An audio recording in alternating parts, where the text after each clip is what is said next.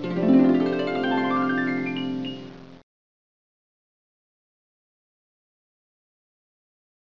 teman-teman di rumah, selamat pagi teman-teman. Selamat pagi, Miss Caca. Kita semangat dulu, tepuk semangat.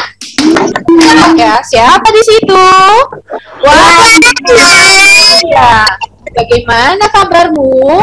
Luar biasa. Terima kasih teman-teman. Siapa yang mau memimpin berdoa hari ini? Oh, Nadira. Teman-teman, nih tangannya kita lipat yuk. Kita dengarkan Nadira memimpin doa. Sudah siap, teman-teman. Sudah. Boleh doa. Ya, ya Tuhan yang selalu teman-teman, tema kita hari ini masih tentang gejala alam. Subtemanya tentang banjir. Nah, subtema tentang mencegah banjir dengan recycle. Teman-teman di rumah tahu nggak recycle itu apa? Nah, recycle itu artinya daur ulang teman-teman atau daur ulang. Artinya kita mengolah sampah atau mengolah uh, sesuatu yang lama menjadi yang baru. Bisa cek kasih videonya dulu ya penjelasan tentang recycle. Nanti kita akan tebak-tebakan main quiz dengan PowerPoint yang sudah bisa buat. tentang banjir, sub-sub tema tentang mencegah banjir melalui recycle. Teman-teman di rumah tahu nggak recycle itu apa? Atau tahu nggak sih daur ulang itu apa, teman-teman? Kalau belum tahu bisa kasih tahu ya. Daur ulang adalah mengubah atau mengolah sesuatu yang baru, yang lama menjadi sesuatu yang baru. Artinya, sampah diolah menjadi sesuatu berupa benda atau barang yang lebih bermanfaat untuk lingkungan. Seperti itu teman-teman daur ulang atau recycle itu. Nah, apa saja sampah yang bisa didaur ulang? Nah, sampah itu ada dua jenis teman-teman kalau atau daur ulang. Nah, teman-teman juga bisa kok melakukan recycle dengan dibantu sama papa di rumah. Teman-teman, bagaimana sih caranya kita daur ulang? Nah, caranya teman-teman dengan mengumpulkan misalnya teman-teman mau membuat kompos, teman-teman bisa mengumpulkan sampah-sampah dari daun kering atau sampah dari sisa-sisa makan masak, sampah sisa makanan itu dikumpulkan menjadi satu di satu wadah, lalu ditambahkan cairan mikroba, terus ditutup disimpan di tempat yang terdapat sinar mataharinya nanti akan menjadi kompos. Terus atau teman-teman nih bisa memakai botol bekas air mineral itu diubah menjadi tempat pensil, terus bisa diubah menjadi tempat untuk pot. Nah itu kan jadi lebih bermanfaat ya. Gimana sih kita bisa melakukan recycle atau daur ulang teman-teman?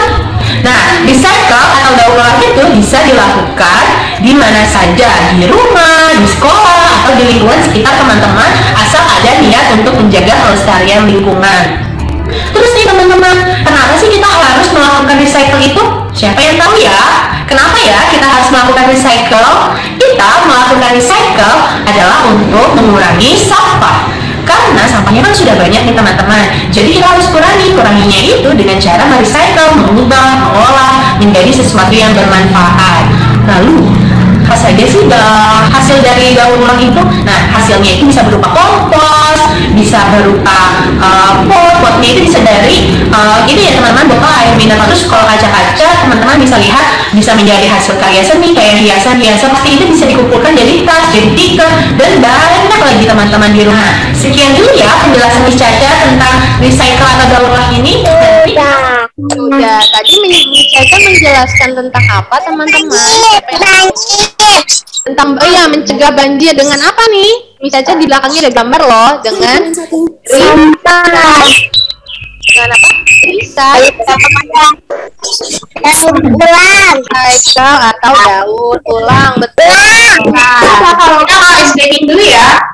Kepala bunda, kepala bunda, tentang mulai. Nah, teman-teman, apa itu daur ulang? Siapa yang tahu daur ulang itu apa? Nah, tadi teman-teman Miss Caca sudah jelaskan kan daur ulang itu apa? Nah, Miss Caca mau tanya nih ke, ke Kin Kin, Kin Kin tahu nggak daur ulang itu apa? Daur ulang apa ya? Mas Yoga tahu nggak daur ulang itu apa sayang? Oh, nggak tahu juga. Kalau Kak Arsila tahu nggak daur ulang itu apa? Daur ulang adalah Sampah. sampah, ya sampah, mengubah sampah menjadi sesuatu yang baru lebih bermanfaat. Nah, sampah itu ada berapa jenis teman-teman? Ada sampah organik. Organik itu apa saja ini gambarnya? Lihat, bisa saja munculin gambar. Gambar apa ya ini? Tadi sampah organik ada apa saja teman-teman? Daun, dapur, sampah buah, telur, dan? Dan kotoran hewan. Nah, selanjutnya ini yang anorganik yang non organik organik. Ini ada apa saja teman-teman? Kita ulang. Sampah. Terus ada apa?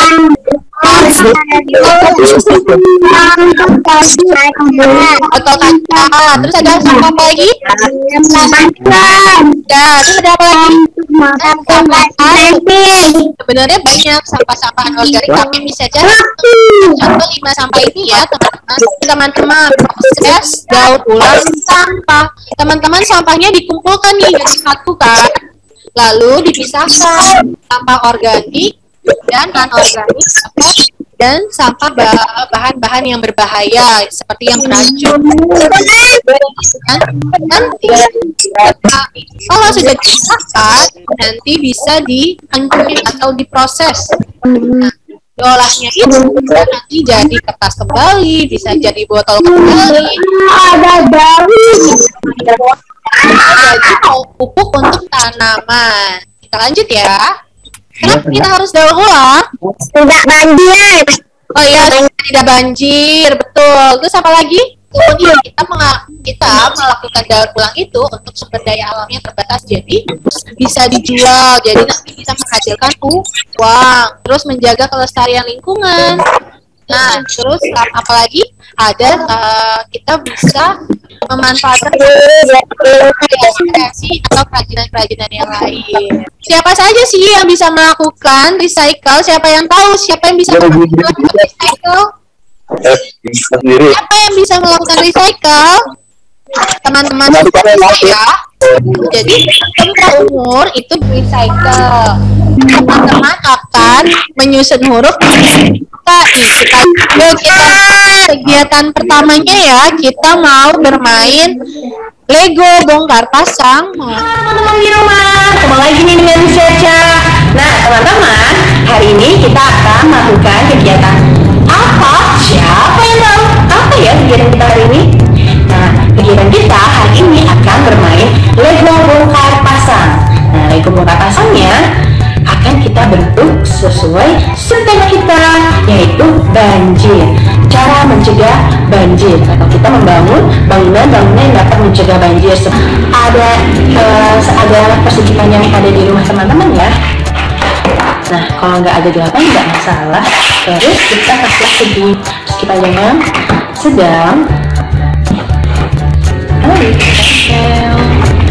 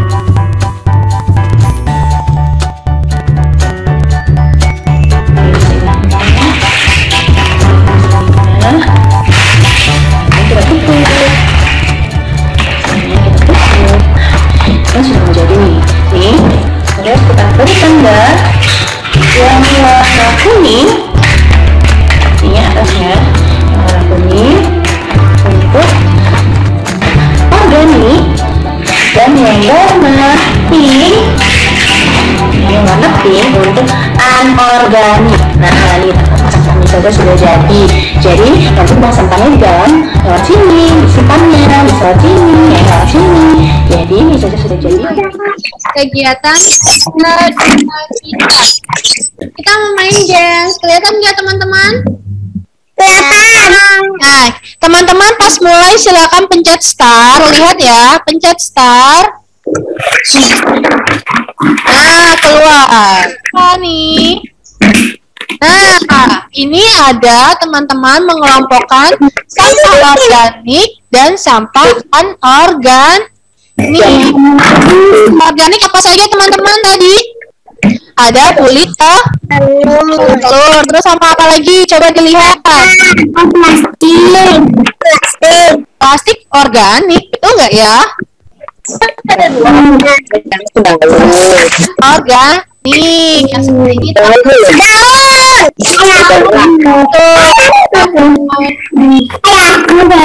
nih jauh. Kalau sudah, semua nanti teman-teman submit. Tunjuk yang ini ya saat selesaikan dulu nah ini kalau sudah teman-teman kelompokkan yang jawabannya benar ya? Kita lanjut ya kegiatan ketiga. Kegiatan ketiga kita. Nah, teman-teman nih kita mau menyusun bacaan atau menyusun huruf misalnya misalnya mau susun kata organik misalnya teman-teman nanti cek kata organiknya seperti apa Nah, nah kata-kata yang lain nanti bisa coba di rumah ya. Ini untuk penugasan. Mau kan? Lukis. Nah, teman-teman dulu pikiran pot, di dasarnya pot kita mau lukis. Ya, kita mau melukis sama-sama ya teman-teman. Disiapkan. Bisa mau bikin batang bunganya dulu dengan warna hijau. Dia mau lukis Tuh di garis bawah.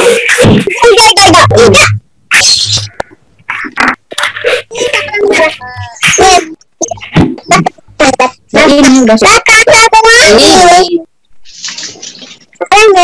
abang, taruh Ria. Sedikit lagi. Harus Potnya sudah diambil, diletakkan di bawah potnya ya sayang.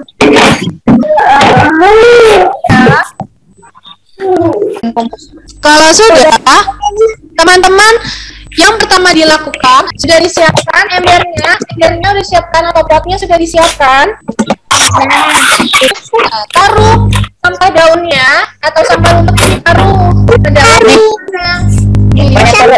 Taruh sampah, taruh sampah. Dimasukin ya. Terus ke sini. Iya nanti kita masuk dulu dong.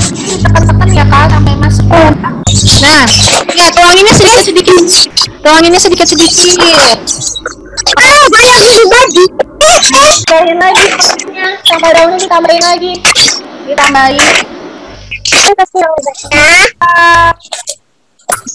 Nah, namanya kan ya teman-teman tuang nanti simpannya di luar kondisinya seperti ini ya kak lihat di luar ya Iya, simpannya di luar di uh, sinar matahari Sinar matahari.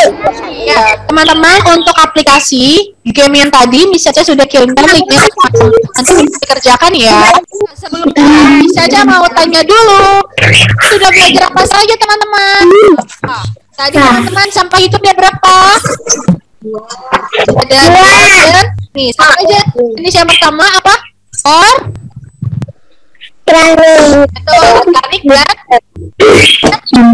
organ. Organiknya apa saja teman-teman? daun, terus apa lagi? Buahan. Kalau yang organik teman-teman apa saja? Kaleng, terus apa lagi? Sampah masker,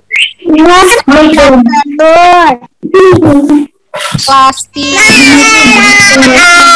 Yang mimpi berdua siapa hari ini? Siapa yang mau? Ya, Sila yang mau dulu. Silakan Asila. Teman-teman. Sudah, Sila. Ya,